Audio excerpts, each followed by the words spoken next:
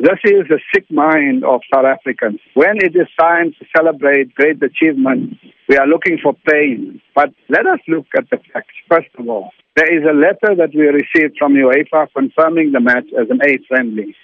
Secondly, there's a letter that we received from FIFA confirming it as a friendly A match, which classification was confirmed by FIFA. Thirdly, everybody saw the FIFA World Cup there. Now, I ask you, uh, why will they send the World Cup only because uh, some people want to practice? It's not serious. We have received nothing from FIFA. FIFA has not spoken. It is a sick mind of people in South Africa who are inventing this. Let us now deal with the facts. The argument that they raise is that Uh, there were supposed to be six substitutes and a seventh one ran onto the field. That is the argument. One, it is the referee on the night that determines how many substitutes can enter the field based on the agreement in the match coordination meeting. The referee is the final authority on that field of play, and his decision is final. It has nothing to do with the event organizers nothing to do with the coach of Spain or the coach of South Africa. And everybody knows once you enter those white lines and you're on the field of play, the referee's decision is final.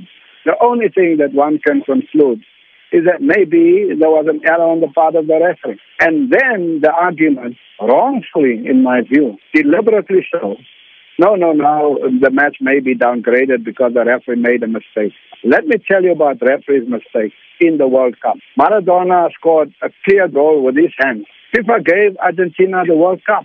We all saw it. We saw the referee's mistake. Yeah, in South Africa, 2010 World Cup, Bloemfontein. Lampard scored a clear goal. It was over the line. The referee in the World Cup said, no, it's not a goal. Did FIFA downgrade that World Cup match between England and Germany to now a friendly? One referee in, in, in uh, uh, the match against Uruguay gave one player two yellow cards, failed to send him off. Discovered later that the referee made a mistake. Did that match become a friendly match? Where in the world was a match changed, its classification changed based on the referee's mistake?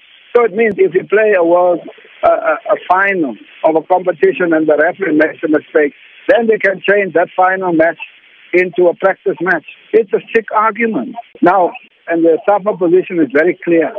The only thing that could have happened is that the referee made a mistake, and it has nothing to do with us. Gordon Igesund was very clear expressing the view that in terms of the match coordination meeting, the referee uh, should have six, six substitutes. That was the agreement. That agreement was honored by SAFA. Bafana Bafana made five substitutes for the record. Now, I've looked at the referee's report and the match commission's report.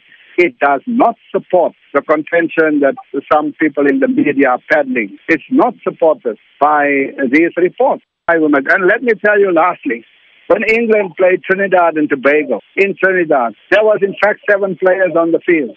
Was that match downgraded? No. Why is there now a sudden invention around this issue, which never existed anywhere in world football?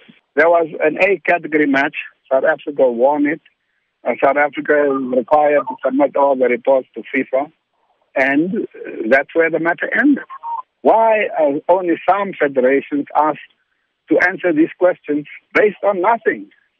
There's nothing in front of you. The third authority in football is FIFA.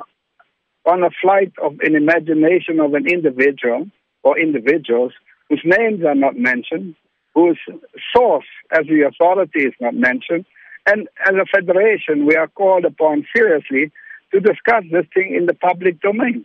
We are the only country in the world where this happens, where people look for pain in joy and celebration and achievement.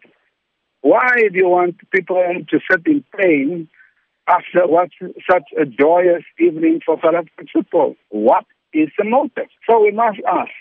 Now, who came up with this idea? Because FIFA is not quoted, SAFA is not quoted, nobody is quoted.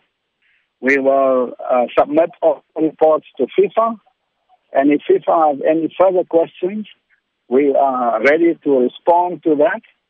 But one thing that we will not accept is that uh, wrong impressions are generated in the media without substance and without authority.